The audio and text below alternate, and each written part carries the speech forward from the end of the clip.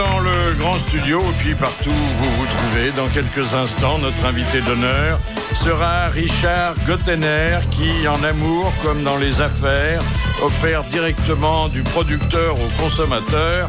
Voici vos grosses têtes.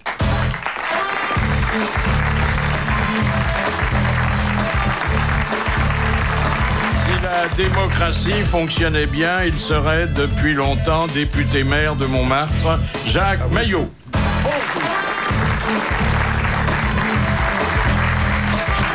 Sans les spiritueux, il eût sans doute été moins spirituel. Jean-Jacques Perroni. Bonjour. Nos malheurs et nos turpitudes lui mettent souvent la larme à l'œil, à moins que ce ne soit la conjonctivite. Bernard Mabire.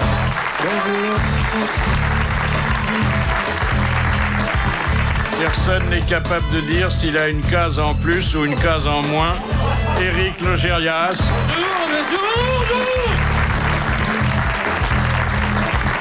Elle comble régulièrement le fossé générationnel avec les corps pantelants de ses jeunes amants.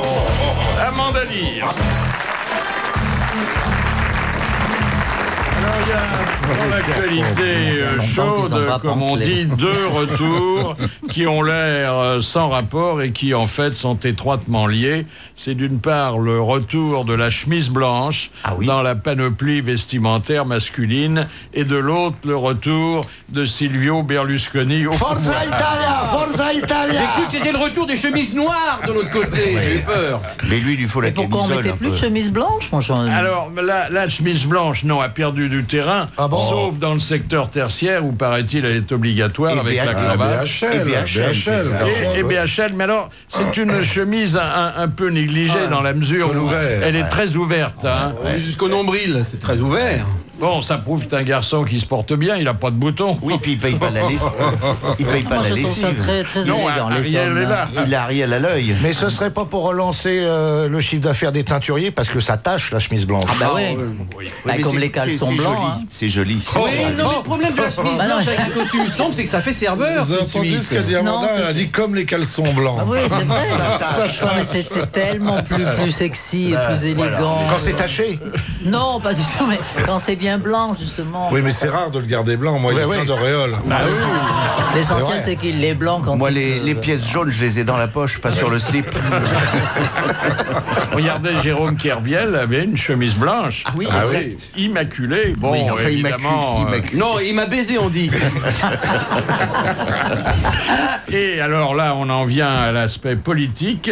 Euh, Silvio Berlusconi avait des chemises, enfin a toujours des chemises impeccablement Impeccable. repassées. Impeccable, Et quand oui. il se pousse Ah, du oui. col, il n'y a vraiment pas un pli, hein. Enfin, la figure aussi, elle est sur, oui, hein. sur la tronche aussi, il n'y a pas un. C'est vrai qu'il a l'air de se faire repasser le visage en même temps que la chemise. Mais dis donc, il y a un problème, c'est que je trouve qu'il fait plus jeune que sa statue du musée Grévin qui a été faite il y a 10 ans. Oui, c'est vrai. C'est inquiétant, hein C'est le lifting qui rajeunit. Oh là là Ah, et, puis le, champ de poireaux est impeccable aussi, Oh, là, comme ça. Alors il y avait autour de lui d'ailleurs une Oh. garde d'honneur particulièrement attractive. Admirable. Ah, oui. très belle. Ah, oui. Ah, Ah ça, oui. on peut prendre exemple sur l'Italie, monsieur. Ah, oui, oui. Qu'est-ce qu'elles sont belles, les cochonnes. chez alors. nous. hein. Vous Oh savez que si Bayrou Ah, il avait ces filles-là autour de lui, ce serait Attendez, pas... ce- Bérou maintenant c'est X-Files. Oh là, trop. Oh. Il, il est complètement à côté, il voit des complots partout, la vérité est ailleurs. Bah, il voit des complots parce qu'il voit plus d'amis. hein. Si, il va les réunir début juillet. Il y a, il y a des Ils fuites. vont se réunir à trois. Arriver dans une Fiat Uno. Et dis donc la mère de. Sarnez, hein, c'est pas les gonzesses à Berlusconi. Oh bah hein. oui Défraye également la, la chronique le, le new look d'Angela Merkel. Ouh là là Ah oui. Car Ah oui, elle a ouvert la boutique. elle, a, elle a abandonné euh, les pantalons et les vestes un peu étriquées. C'est le printemps. Et euh, Elle monte ses teutons. Mais vous elle- savez, oui, enfin, oui. D'abord, il n'y a pas grand-chose à voir. Et Oh bah c'est. circulé, circulé. Mais depuis que Nicolas est allé la voir, d'abord il l'a secoué, il y a longtemps qu'elle Oui. avait pas dû être secouée comme ça. ça, et, oui. et ça, Oui, oui. lui a redonné goût à la vie, cette Il la secoue, il l'embrasse, il la touche de partout parce que l'autre jour, Ça d'ailleurs, elle s'en plaint. comme ça. L'autre jour, elle était juste devant lui. Il n'a pas pu s'empêcher de tendre la main pour la mettre sur l'épaule. Oui, quand les deux mains sur les épaules, mais les têtes de manche en arrière, c'est la chenille qui redémarre. Attention les voyageurs. Non, Ridicule, il, aime bien, il aime bien le contact physique. D'ailleurs, on avait peur pour la reine d'Angleterre qui, qui- Oui. qui la Ah oui, moi, moi, Ah bah la, la reine d'Angleterre, il voulait lui faire la danse des canards, il voulait lui faire. Alors, on- Je Envie crois que c'est. la reine d'Angleterre Oh non. On n'a non, pas le droit. alors il n'a pas fait, alors que, que Chirac, Chirac, oui. avait cédé à, il a pas à tout- l'attrait sexuel. Oui, hein. mais elle l'avait allumé. Attention. Et il a la différence. Il n'a pas touché le prince Charles, il se touche tout seul. Depuis toujours. Et on voit bien que ça rend sourd vu la taille de ses oreilles. Il devrait naviguer sur le pognon. Alors, Hier, la on dit, et la on vapeur. dit d'Angela Merkel, la, la- la presse de son pays dit qu'elle a créé un nouveau style vestimentaire, Ah costume le jour et tenue de princesse le soir. Ouais, ce serait plutôt la tenue, la concierge est dans l'escalier. hein. Non, alors elle a maintenant De des, robes euh, assez échancrées Oui. et euh, plus cintrées. C'est ce qu'ils Euh, Comme elle. C'est ce qu'ils appellent l'ouverture à l'Est. voilà, c'est pas euh, une très jolie femme. C'est Cendrillon. Mais c'est une femme sympathique, courageuse elle a dû- et qui a bien réussi Oui, dans oui, son oui. travail. Oui, quand bah même. oui, quand même. Non, Hein mais elle a mis un peu de temps à se rendre compte que maintenant elle était à l'ouest. Parce qu'il faut dire qu'elle est née à l'est. Et à l'est, Oui. ils n'étaient pas très très folichons en matière vestimentaire. Et, Elle et- sort bien. André. et du coup, elle s'est réveillée un ce matin, là, il y a deux jours, elle dit Mais merde, je suis à l'ouest, je peux m'habiller comme je veux. C'est la princesse Cendrillon. Cendrier. Ah oui, oui. Alors, il faut parler de notre autre euh, idole, Roselyne Bachelot. Ah, Alors, elle a annoncé que les lunettes à l'œil, c'était fini. c'est fini. Euh, Dépêchez-vous de changer vos chiottes parce que les lunettes seront plus remboursées. hein. Heureusement, heureusement, les gens qui vont être touchés par euh, cette mesure, qui est assez injuste d'ailleurs, ne le savent pas encore parce que comme ils ont également besoin d'une prothèse auditive et qu'on leur rembourse pas, ils sont non seulement euh, aveugles, mais ils sont sourds et ils mangent que de la bouillie parce qu'on leur rembourse Oui, plus les- les, les- les frais de dentiste. Hein oui, oui. Mais alors, est-ce que ça va s'étendre jusqu'aux cannes blanches et aux chiens d'aveugle Ah oui, oui, Ça. Enfin, c'est quand même inquiétant parce que qu'est-ce qu'on peut faire sans dents, sans lunettes bah oui. et sans audition Ministre de Sarkozy. Je vais vous dire, monsieur Bouvard, on se fait poser une pile. Oui. Alors Et il est sorti, tennis. il est sorti, le grand Jacques. Ouais, il va bien. Euh, Il est en vacances dans son appartement de chez les Hariri. et sa nouvelle devise, c'est Love on Peacemaker. Nous retrouvons Philippe Bouvard et ses grosses têtes.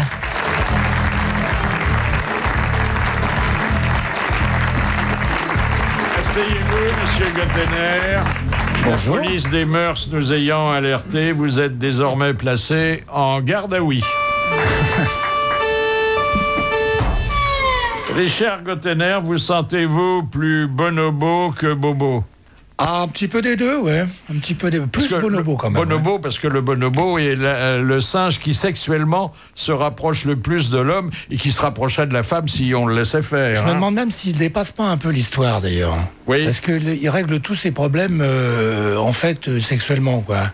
Les tensions, en principe, il- quand il y a un petit, si on avait un petit problème entre nous par exemple, de dominé à dominant, euh, bah, le dominant se tourne et voilà quoi. Ah bah oui, voilà, bon, il vaut mieux que j'ai le dessus. hein.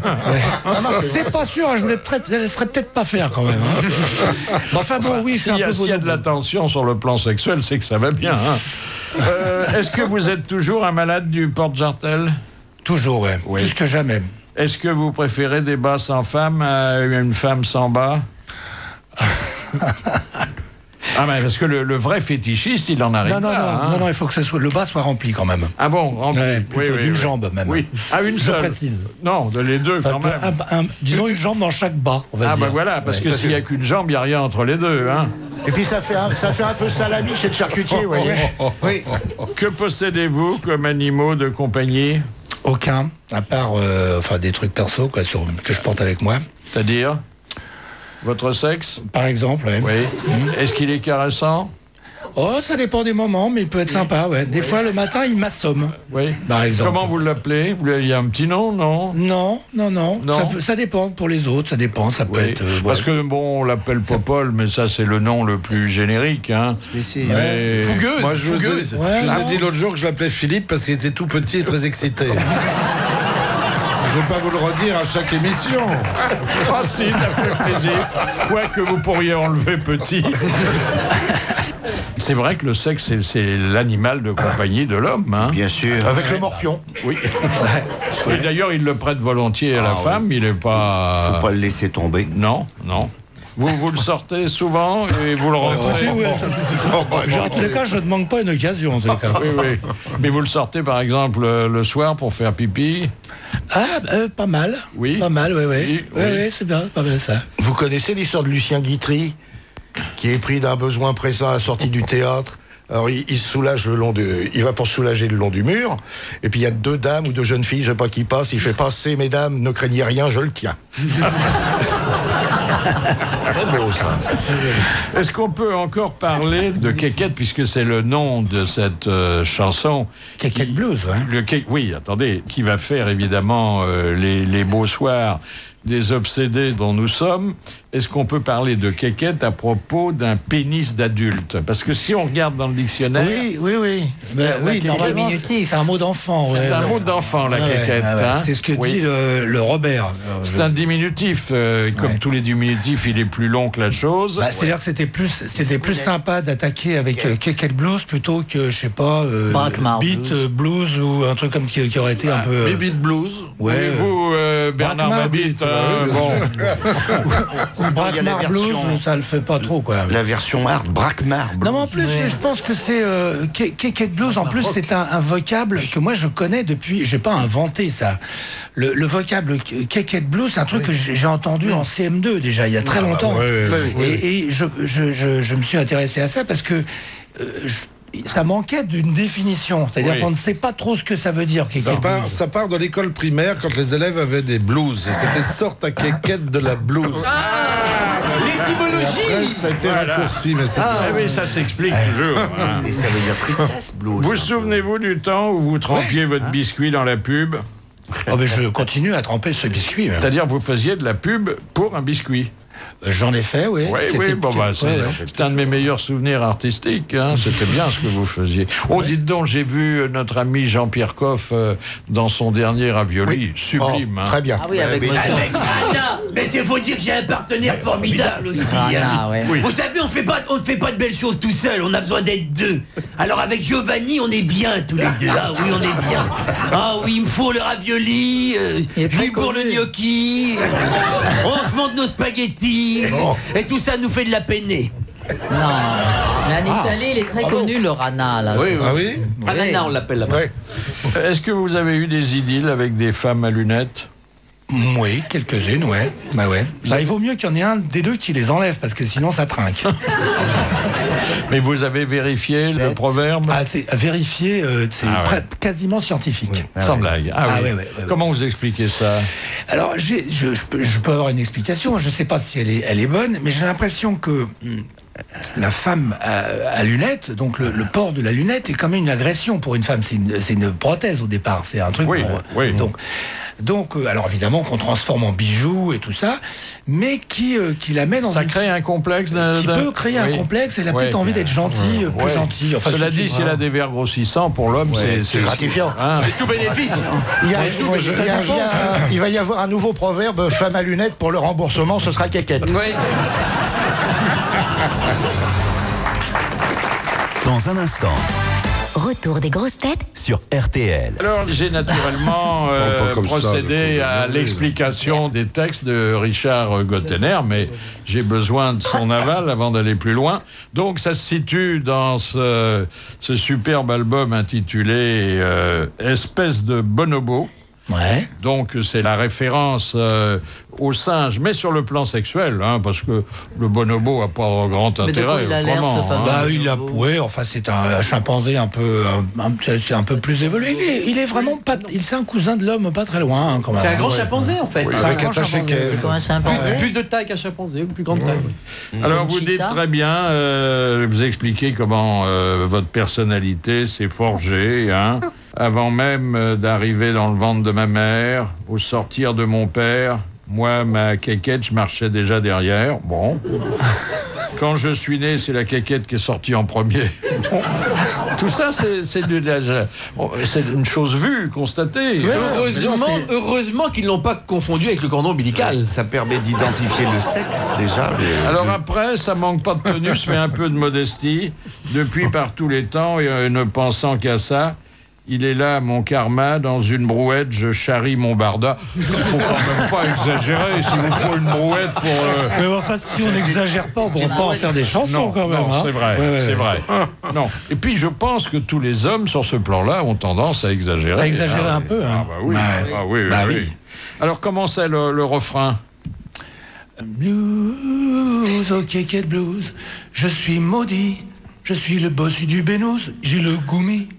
Blues, kékette, blues. En même temps, c'est très dansant. Hein Ah, c'est swing, hein Le Plus que Foufoune Tango, j'aime moins Foufoune Tango, moi. Que je trouve un peu, un peu, un peu mou. Ouais. Un Foufoune Tango, c'est le poilu du Bénouz. Alors Là, c'est le bossu du Bénouz. C'est très joli. Elle est où l'incendiaire qui va calmer ce feu, me dénouer ce nœud, appeler l'infirmière, je vais garder le pieu. Oui, ça c'est toujours le fantasme de l'infirmière. hein. Toujours, et puis de la Ah doctoresse, oui, ah euh, oui. toute nue sous sa blouse. Je veux des doctoresses euh, toutes nues sous euh, des blouses pour me traiter mon blues. Ôtez-moi cette idée de mourir en partouze. Alors là, euh, il y, a- il y a votre goût pour les rimes en ouze qui d'ailleurs donne une autre chanson. hein. Oui, oui, oui. Ah le oui. blues des rimes en housse. Oui, Ouais. c'est parce que c'est pas très convenable généralement les mots en ouze. hein. Ah, ça dérape. hein. Ah oui, oui, il y a- c'est- c'est- un côté... euh, ouais, La y a- bouse, oui, bouse. Ouais, bah, Joli bouse. Toulouse, qui est pas bien propre non Mais plus. vous avez aussi... J'ai lâché une perlouse. Saucisse de Toulouse. Voilà, voilà. Ouais, ouais. Pidouze aussi, moins rigolo. Ça fait un équilibre, oui. Poupou Pidouze. Bien. Vous vous souvenez aussi du refrain de Bonobo Je suis un bonobo. Je suis un bonobo euh, euh, shooté à la papouille. Viens là, ma bonobonne, viens là que je t'épouille. À la papouille, c'est Euh, une bonne rime. Je t'attrape, tu me chopes. Oui. On, euh, Je je t'effleure, t'effleure, tu me touches. Je te mange. Tu me lapes, on se tutoie la bouche. Ah, j'aime bien, on se tutoie la bouche. Ah. Ça, c'est une trouvaille de poète. hein. Euh, sur les rimes en houille aussi, c'est limite. des hein. trucs. Non, il y a des Oui. trucs. Le blues des rimes en houille, ça serait dangereux. Attends, Mais en disons que là, il y a- j'ai pas il y a mouille. oui, où il faut se méfier. Ouh là là, oui. Il y a fouille. Ouh là là. Il y a fouille. C'est dangereux. Et les rimes en cul. Oh là là. C'est pas C'est- Oui. J'ai reçu hier au, au courrier euh, des expressions galantes que m'envoie un auditeur et qu'on peut murmurer à, à l'oreille de sa danseuse pendant un slow. Alors, euh, ce sont naturellement toujours des expressions à, à À double- évocation Ah sexuelle. Tu plus des bras. À double sens. Je voudrais te clitourner la toison, te dépeigner le barbu, te faire grogner le chabal. Ah oui. Ah, ça, c'est joli. Ah, c'est bien ça, oui. On est dans du- un peu dans du San Antonio, un peu Oui, là oui, même. oui. hein. C'est- te puter le green, te noyer la taupinière, Celle-là, elle est vieille. t'enfumer le terrier. Ah, ça, c'est depuis la mode des furets, ça. Il n'y a, pas- il y a pas faire pleurer le barbu, non te décaper le faitout, Ah oui, te, faire, te faire siffler la bouilloire. Il y en a une qui était mignonne, c'est te décalaminer le pot. aussi. Voilà, c'est c'est du San Antonio un peu quand même. hein. Oui, oui. Moi, Je j'avais, euh, voudrais, je voudrais te glouglouter le dindon, ça, je- te miraculer la grotte à Soubirous, Non, là, c'est. te draguer le fond du canal, Marie Salope. te poinçonner le ticket de métro, mais ça c'est la mode parce que c'est euh, C'est la coupe de cheveux. la coupe ça. de cheveux comme vous Oui, dites. parce qu'il n'y a plus de poinçonneur. hein. Non. Ah ben je voudrais te composter ta carte orange, Ah oui. Qui est plus moderne. Te secouer Ramsès dans le sarcophage, Ah, celle-là est très bien. Faut enlever les bandelettes quand même. hein. me tremper le nem dans ton couvert. chinois. Vous allez nous en faire des photocopies, Philippe Et enfin, t'initier au caca sutra. Ah oui, ça, c'est C'est pas très convenable. C'est bien. hein. Mais enfin, c'est de la poésie. Ah bah oui. Oui. Ah, le caca soutre. C'est le comme ça qu'il faut le prendre. Vive les poètes. Mais j'ai relu dernièrement un petit euh, San Antonio et je, il, faut, il faut y revenir de temps en temps. quand Ah même, bah hein. oui. Ah oui. C'est- C'est d'une. Il avait une imagination Ah, c'est extraordinaire. ça, hein. C'est de Ah la oui. musique, hein, c'est de la, de la vraie oui. poésie. Hein. Et puisque vous paraissez apprécier que la concurrence ne vous fait pas peur, Je voudrais vous faire entendre ou réentendre une chanson érotique que, ici même, voilà quelques semaines, Victoria Abril nous avait offerte. Je me fais sucer la friandise, je me fais caresser les gardons, je me fais empeser la chemise, je me fais picorer les bonbons, je me fais frotter la péninsule, je me fais béliner les joyaux, je me fais remplir les vestibules, je me fais ramoner l'abricot, je me fais farcir la motelette. Je me fais couvrir les rigondins. Je me fais gonfler la mouflette. Je me fais donner les picotins. Je me fais laminer les crevises. Je me fais foyer les cœurs fondus. Je me fais tailler la pelise. Et je me fais planter les montvelus. Je sais. La, la créatrice, c'était Colette Renard. Oui, oui, oui. Ah, mais oui, en effet, c'était un- Oui, oui, il avait- oui, oui. elle avait fait un récital entier. Ça s'appelle Mémoire d'une jeune fille. Oui, oui, oui. Euh, oui. Colette Renard, j'ai- reçu sur le, sur le net et c'est euh, très très marrant. Très joli. On- Ouais, on vous choque, Amanda Non Oui, C'est vrai tout à fait. Bah oui, elle est toute chaude. Je suis atterrée là. Tu rigoles. Non, comprends pas déjà le besoin qu'ont les messieurs de parler sans arrêt de leur quéquette, d'écrire sur leur quéquette, de chanter leur quéquette. Ça Non, existe non, mais pas. attendez, là Vous justement, là, là je m'inscris en faux, si vous me permettez, parce que je- moi j'en fais une, euh, un truc à supporter. C'est-à-dire que là, c'est. Oui, c'est c'est-à-dire si on prend le mot blues à l'américaine, c'est Ah une bah. lamentation. C'est c'est un- une Ah oui. lamentation, cette Ah oui. chanson, c'est je suis, Oui, oui. je suis maudit. Oui. Victime. Je suis victime ben de. oui. de Vous n'êtes pas fier, vous êtes Non. victime de. Ah je suis obligé de marcher Ah oui. derrière, c'est pas Ah moi bah qui commande. Ah oui, oui, oui. Il faut- se payer la brouette, hein. C'est elle qui commande, je, suis son obligé. Oui, c'est Non ça. seulement on marche derrière, mais pour la rattraper, c'est impossible. On suit la flèche, mais au bout d'un moment. Vous pensez qu'on on en parle trop et qu'on n'agit pas pas, assez, vous Amanda voyez hein pas une femme écrire euh, une chanson comme ça en parlant de sa foufoune. Si, Foufou le tango, Foufou tango. Ou rock à mamoule C'est joli ça Il doit y avoir des rimes à Foufoune d'ailleurs. oui, Ah oui, Ah bah oui, sûrement, ouais. Oui, en plus, Foufoune est un joli mot, je trouve. hein.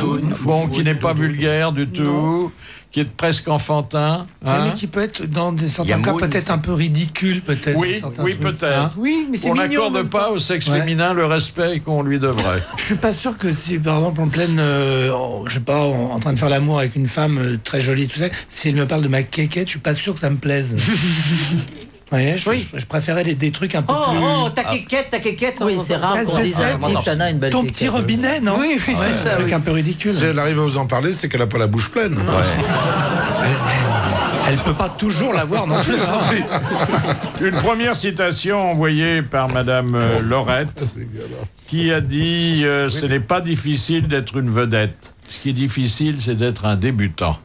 Charles Aznavour. Non. Je voyais déjà haut de l'affiche, on ne voit plus rouler n'importe qui montaine. C'est un chanteur? Alors, il, il- il chantait aussi, en fait, c'est un Ah, est grand mort. Ah. humoriste qui nous a quittés. Raymond DeVos. Non, Non.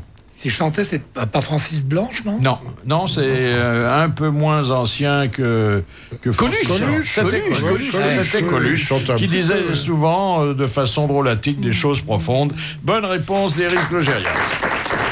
C'est la deuxième citation que nous donnons à Madame Plaine De grâce. de grâce. Ah oui. Vous mémorisez bien les, Oui, les adresses, oui. les adresses, oui, hein oui, oui. Alors que là, bon, Plaine, on ne sait pas où elle habite. ben, bon. De grâce. Qui a dit En amour, ce que je ne comprends pas, c'est la différence qu'il y a entre le début et la fin. Au début, on m'aime pour ce que je suis, et à la fin, on me quitte pour les mêmes raisons. Woody Allen Alors, c'est un Français, toujours de ce monde, et il lui sera beaucoup pardonné pour ce moment de lucidité. Monseigneur 23. Non, non. C'est un Français qui, est- qui a beaucoup de succès auprès des Beaucoup, femmes. beaucoup, beaucoup. succès. Alors, aujourd'hui, il a, il a Il y en a peut-être, moins. euh, il s'est un peu, un peu rangé. Alain Delon Non. Nicolas Sarkozy Non, non, non, non. Est-ce que c'est un acteur? Alors, il est aussi acteur. Il est oui. aussi Ah, il est acteur. aussi acteur. Il est aussi. Il est humoriste? Oui, enfin, il a plus d'humour qu'on en lui en prête. Ah bon? Acteur de théâtre ou de cinéma? Euh, cinéma. Ah. Il est réalisateur? Non. Il Non. fait, il fait des figurations de temps en temps. Non, non, non, non, non. C'est une énorme vedette. Bernard- écrit. Une énorme vedette. Il, oh, il, il n'en abuse pas. Ça. Il en abuse pas. écrit un peu à sa famille, mais Oui, bon. oui, à la sécu, de temps en temps. vedette. Il c'est un politicien. Non, pas du tout. Ah, non. Non. Non, non, t'as dit que c'est un Qu'est-ce qui a fait acteur. partie de la troupe du Splendide? Est-ce que ça pourrait être un Junio, un, Ah. un ermite Pas du C'est pas un sportif, c'est pas Cantona. Alors, c'est pas un sportif, mais quand euh, on le voit sur scène, c'est du sport. Jean-Marie Bigard. Non. C'est du sport qu'on voit sur scène. c'est du Du sport. C'est quand même pas Johnny, non? Ben si. Ah oui Ah oui. Oh, Eh oui. C'est Johnny. Il a Ah dit bah, ça, eh, Johnny eh, C'est pas mal, c'est c'est c'est sympa de bien, savoir. C'est Johnny Hallyday qui Ah, dit bien. souvent des choses pertinentes. Hein. c'est. Et même dans les interviews, euh, il y a des pépites. hein. Ah oui, il a fait oui. des bites partout.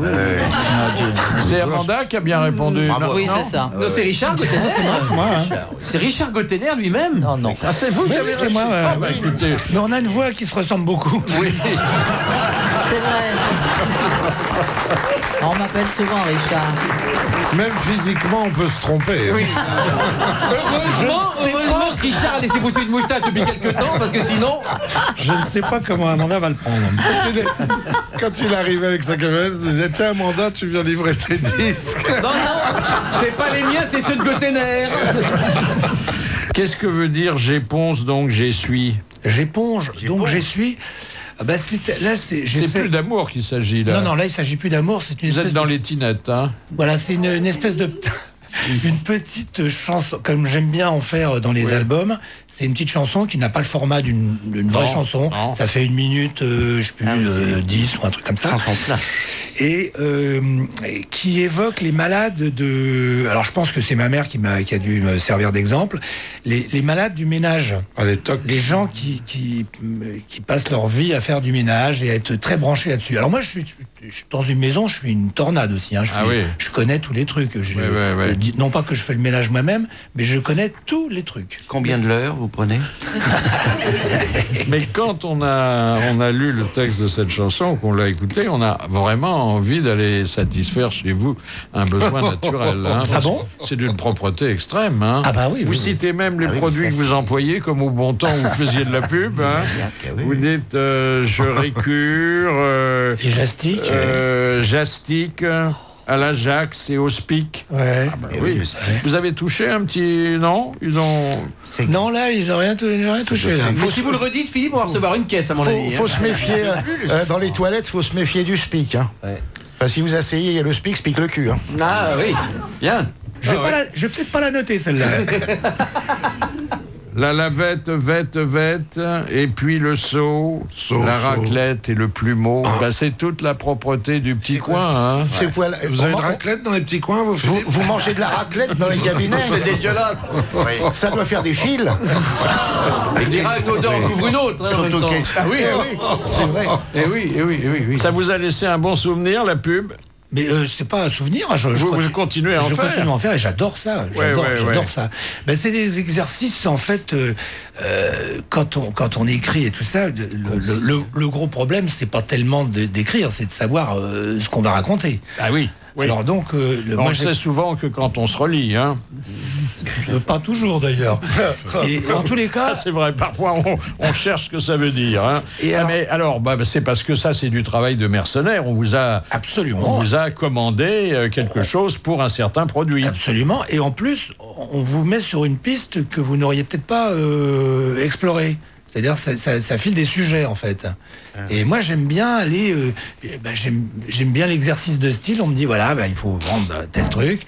Alors, évidemment, le, le- le produit, je m'en fous un peu. Je, Oui, pas que je m'en enfin, fous. il faut quand même essayer de le faire vendre en faisant sourire. euh. Voilà, il faut respecter. Moi, je, je- Et puis, il y a le jingle aussi qui est important. Hein. Absolument. Il faut que moi, je, enfin, il faut que le, le- le- j'ai un grand respect pour le- le- les gens qui écoutent la pub.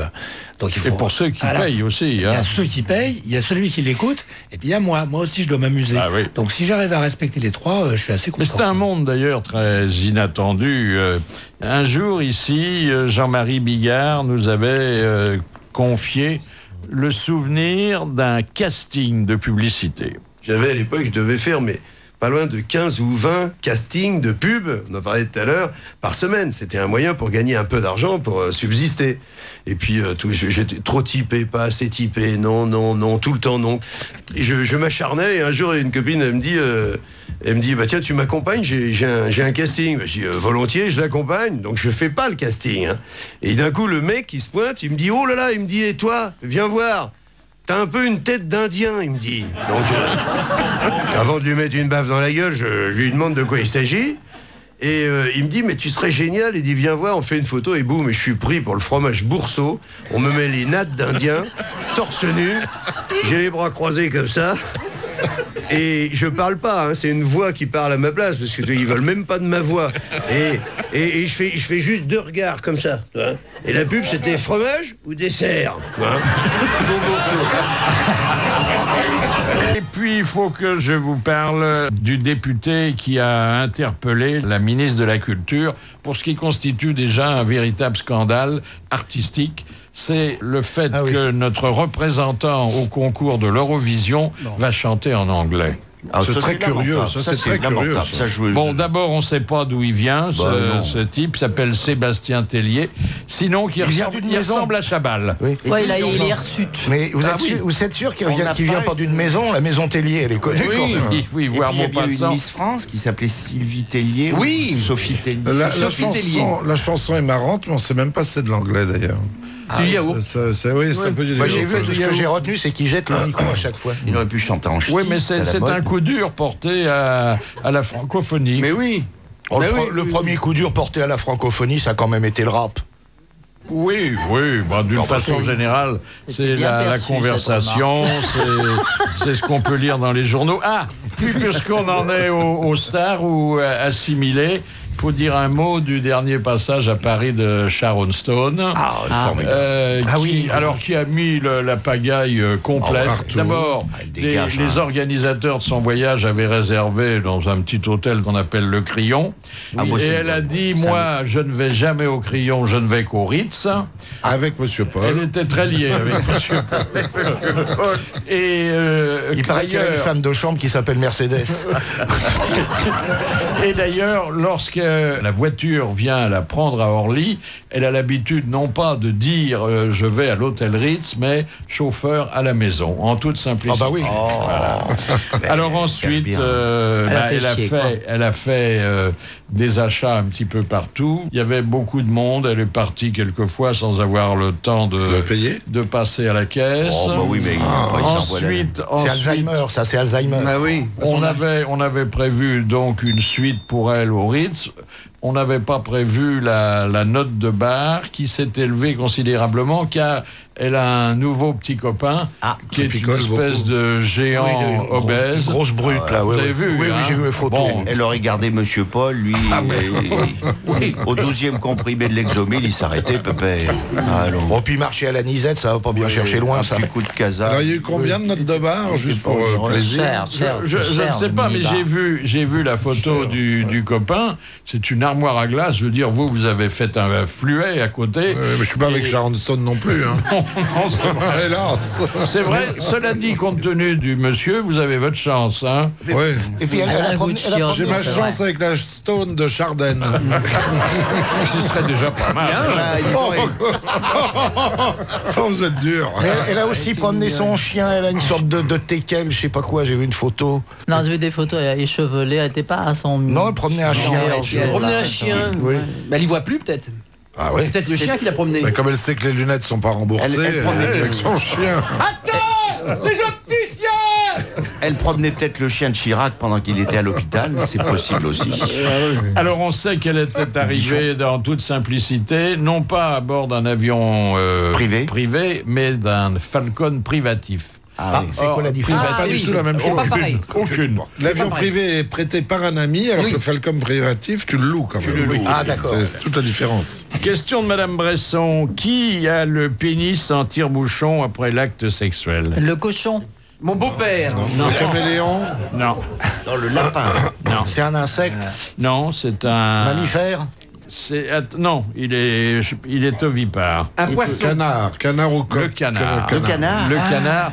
Vous savez, qui est un frénétique et qui souvent euh, finit paralysé des pattes parce qu'il a abusé euh, de Ah la ouais. chose. hein. Et ça lui fait grossir le foie. Ah, pas- ça le paralyse des pattes, pauvre Pépé. Ah, Ouais, surtout ouais. quand on met la tête dans le tiroir après. Là alors, il est là un peu, il est un C'est pour peu ça que quand tu as un des mec avec des béquilles, tu sais d'où ça vient.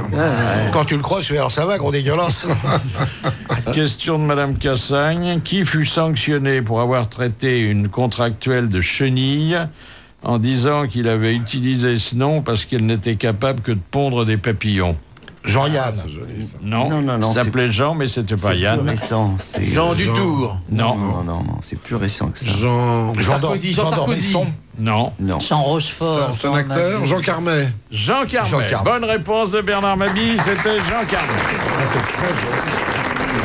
Vous avez dû le connaître, hein Comment Vous avez dû le Oui, connaître. oui, bah, je l'ai croisé, c'était un être euh, exquis, j'adorais. Ah oui, ah oui. Eh, suis, quel euh, nom porte le chien qu'adopte San Antonio dans la queue en trompette demande Madame Béranger. Salami. Salami. Bonne réponse. Il se connaît tout. Hein. De Jean-Jacques Perroni. Il lançait sur le dard. Ah oui. Quel euh, Monsieur Marlet de Joinville, euh, quel roi possédait un harem composé de plus de 1000 femmes? Haroun Turc. al-Rachid. Un turc? Non. Non. Omar al-Rachid, c'est pas alors. quelqu'un euh, qui a dans un- Omar c'est al-Cacahuète. C'est pas quelqu'un qui avait un peu C'est dans un bouquin, dans un conte. Non, c'est dans la Bible. C'est dans la Ah, dans la Bible, ah, Salomon. C'est Salomon. Ah, c'est Salomon, bah oui. a- on a fait mon salaud d'ailleurs. Tout le nom. ouais. Bonne réponse d'Amanda. Vous vous rendez compte 1000 femmes. Et est-ce qu'il y a un rapport entre Salomon, dont vient de parler Amanda, et Salami, dont a parlé euh, Jean-Jacques juste avant Mais oui, Pour oui, mille femmes, il fallait un salami. Ah, ouais, Oui, oui, oui, exactement. Visiblement, vous n'avez pas lu la Bible. Ben non, ce que c'est que les grosses têtes, Amanda connaît la Bible, moi je connais San Antonio qui est le complémentaire. Et moi, je Voilà, connais rien. Vous vous rendez compte 1000 femmes. Oh là là. Il devait avoir les yeux cernés, Pépère, quand même. Ça fait beaucoup quand même. hein. Ah et pensions Même en s'y mettant. euh, Il pouvait pas les. Le matin, le matin. Marilyn, toujours aussi torride alors qu'elle a disparu depuis 45 ans. Ah, ouais. Torride et pourtant froide. Ah oui, Oui, oui. mais je Et sais elle a si- maigri, elle a beaucoup maigri, on m'a dit. Attendez. Ah, elle a réussi son régime. On a, on a exhumé, non pas euh, la, la pauvre Marilyn, mais Son chien. Une vidéo. une vidéo amateur ou une vidéo pour. Oui. où on la voit en train de faire une bonne manière pendant un quart d'heure. Ah bon? Un monsieur On d'ailleurs, sait toujours pas qui c'est. on ne sait pas qui c'est. On ne sait pas qui c'est, mais bon, il a l'air assez heureux. C'est pas Clinton petit, non Non, mais c'est, mais c'était bien avant qu'elle devienne Marilyn. C'était bon, une petite erreur de. Oui, mais à l'époque, la vidéo n'existait pas, donc c'est du film. La Attendez, attendez, c'est pas bien avant. Non, non, la non. preuve, c'est que cette vidéo a été euh, saisie à la demande d'Edgar Hoover, qui était le grand patron Ah oui. du, du Des FBI, aspirateurs. Du- ouais.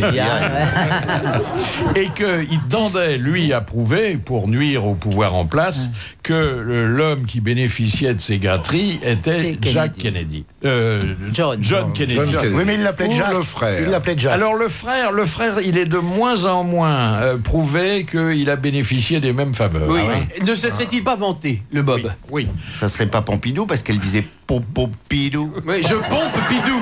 Oui.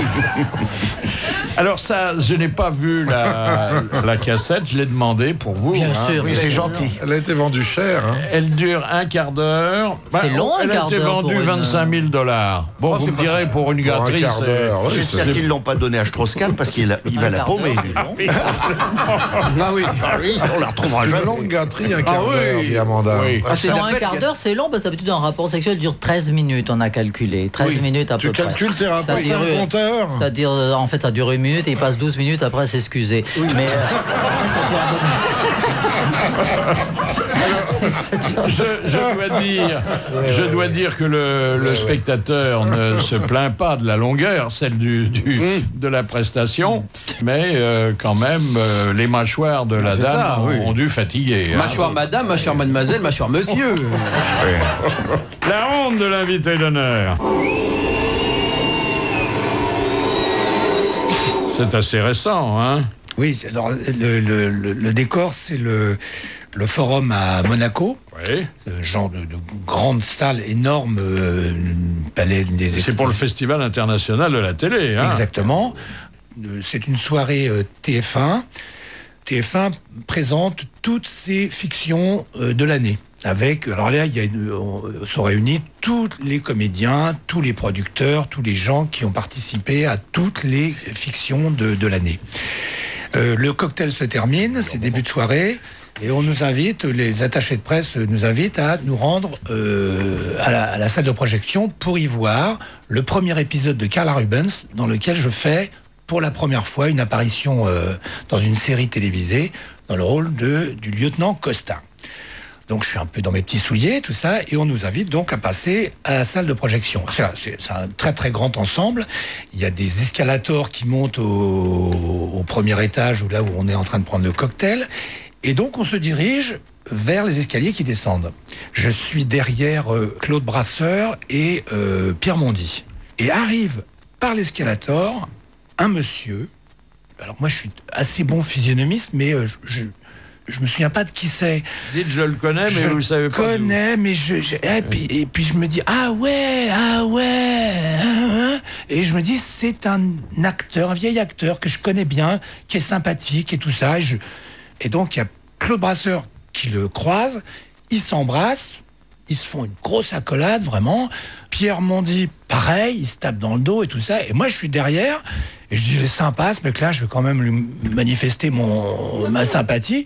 Je le prends dans les bras, je l'embrasse copieusement. Et là, je sens une espèce de réticence, ce qui fait que au lieu de l'embrasser euh, normalement, je l'embrasse dans le cou, par exemple. Et je sens un petit, euh, un- une gêne. une petite gêne. Ah, Je dis bon, il est euh, finalement, il me connaît pas bien, tout ça, ben, normal. Donc on va à la salle de projection. Et là, on s'installe. Là, euh, Bernard euh, Montiel monte sur scène et présente euh, la soirée. Et à un moment donné, il dit Et j'appelle notre président de TF1, Étienne Moujotte. Et là, je vois se lever mon comédien. Et là, je me dis Oh la vache C'est-à-dire que moi, j'arrive, je suis débutant dans un truc, j'attrape le, Le vice-président de le vice- TF1. Le vice-président. Et je le serre dans mes bras, je lui fais des trucs. Et je suis passé pour un lèche-cul grave. Un lèche-cou, un lèche-cou. Ah un lèche-cou. Et alors Vous savez à quoi se reconnaît le lèche-cul? À son haleine.